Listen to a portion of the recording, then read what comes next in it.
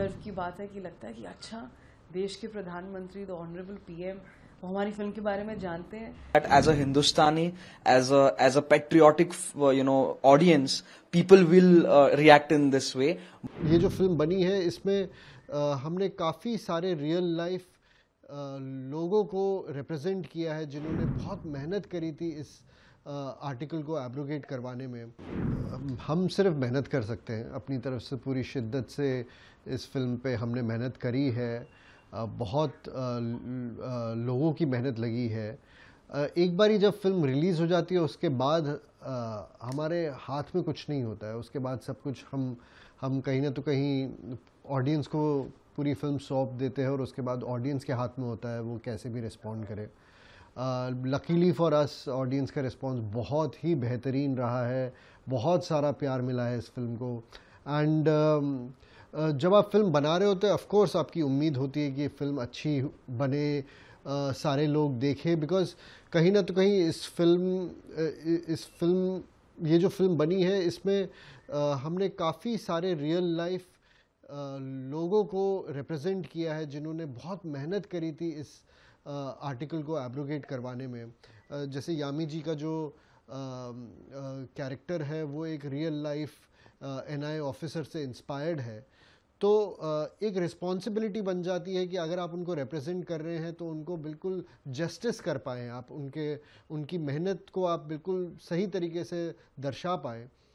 तो of course उम्मीद तो होती है कि थिएटर में लोग आएँ, देखें और इनकी मेहनत भी देखें, इनकी मेहनत भी देखें। तो अ, अ, मगर जिस तरीके का रिस्पॉन्स आ रहा है अ, सोचा नहीं था अ, कि इतना बढ़िया रिस्पॉन्स आएगा और इतना ज़्यादा प्यार मिलेगा तो बहुत बहुत तहे दिल से धन्यवाद।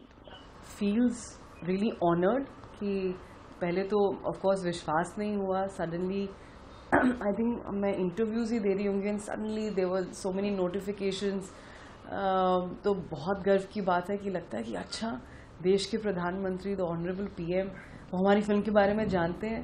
क्या उस फ़िल्म के बारे में जानते हैं? इसका मैं एक हिस्सा हूँ। तो वो अभी भी यू नो एक, एक, एक वो वाली फीलिंग आती है बचपन वाली कि अच्छा वो, वो जानते हैं मुझे या फ़िल्म को।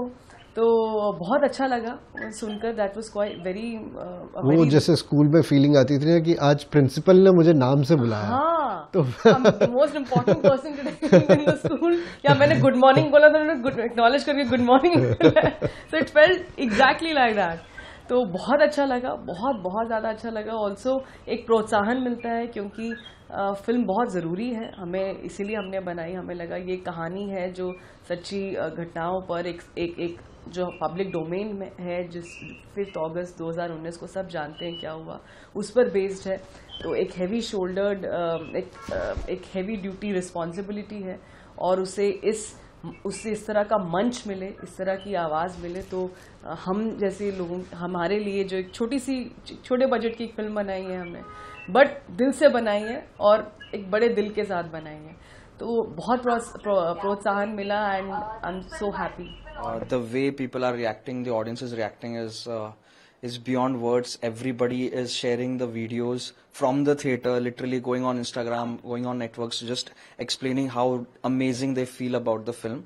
So I think it has been great, and the response is coming from all across India, world. We are getting messages from Europe, uh, from US, Canada. At the same time, we are getting from Gwalior, we are getting from Pune, Maharashtra, South, North, everywhere. So it's it's just amazing. It's exciting. Do You accept this massive response of the film?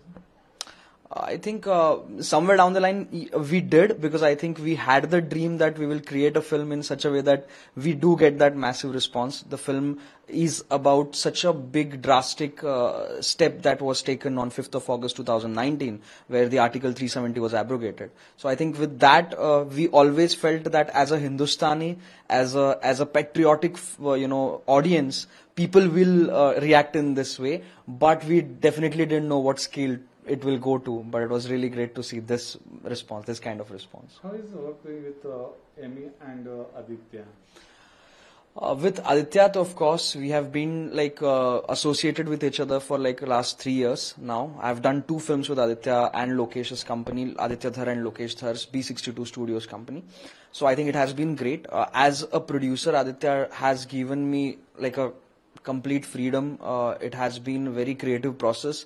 I could work in my own style. There was no rigidness, nothing forced on me, which was really amazing. Uh, and um, uh, with Yamit, of course, she's a fabulous actress to work with. Again, very sharp, very um, studious in kind of her approach. Uh, yet um, tries to go bo- to the bottom of the character, which is great. And um, again, same happened with Priyamani also, who is another, uh, who is playing another character of Rajeshwari. So that both these actresses have been amazing to work with. So I never felt that there is a kind of a pressure or anything.